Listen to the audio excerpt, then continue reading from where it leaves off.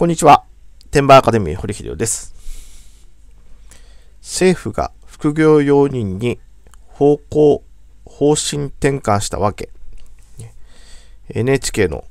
ニュース深め深読みという番組でね、本業、副業、二刀流と、どうなる日本の働き方という番組やってたんですけど、まあ、本業以外にもね、仕事を掛け持ちしている二刀流の人が今後増えていくと。で番組の中でね、えーその、副業、なぜ認めるか、ね、本業、今認めてないってのはどういう状態か、まあ、それを説明する、えーイラストがあったんですけど、イラストというかね、模型というか、で、なんと、それで表現してたね、えー会社に忠誠を使うっていうので、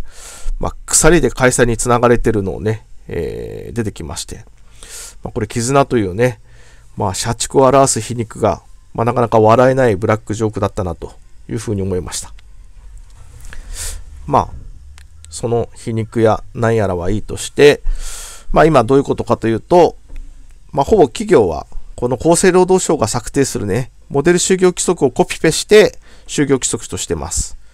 で、その中に、えー許可なく他の会社等の業務に従事しないことというね、遵守事項があって、違反したらね、えー、クビですよというふうになってます。まあ、ところが、これを変更してね、えー今後は、えー原則、副業を認めると、原則的に副業兼用兼業を容認するというふうにね、この、えーモデル就業規則を変えていくというふうに発表しました。これはどういうことかというと、まあね、厚生労働省がその中身についてはね、えーまあ、綺麗事、まあ当然発表してるわけなんですけど、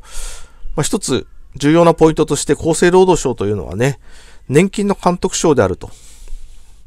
そうなると将来、ね、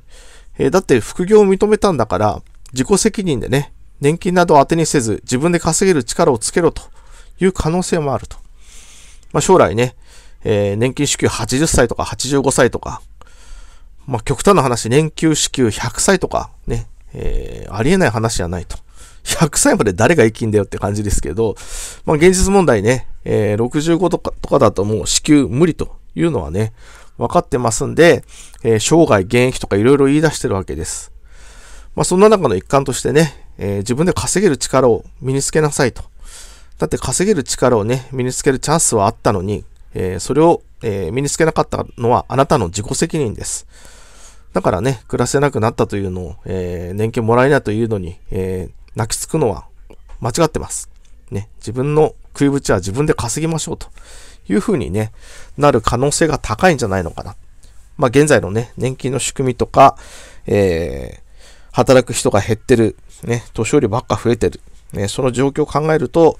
まあ、この年金問題ってのはいつか起こるんでね、それを、まあ、この副業を認めて自分で稼ぐ力をつけろ、生涯現役というのにね、えーすり替える可能性は非常に高いなというのを感じました。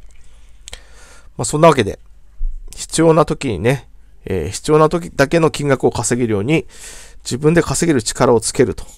これはね、えーもう必須事項であると。ねえーこれができない人は、はっきり言って、えーかなり厳しい未来が待ってるなと思いますんでね、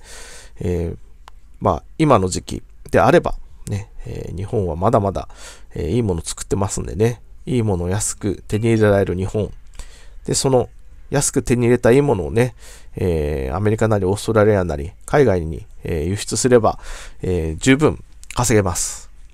まあ、まずはね、えその稼げるスキルを身につけるために何を何をやるべきか、ね、え無料で、え情報を発信してますんでね、えメールマガジンに登録して、こちらのね、えー一番上の右上にね、えー無料 Amazon 輸出メールセミナーという登録フォームがありますんで、こちらにメールアドレスとお名前を記入して、登録ボタンを押してね、まずメールで情報をチェックしてみてください。ご登録お待ちしてます。以上、天馬アカデミー、堀秀夫でした。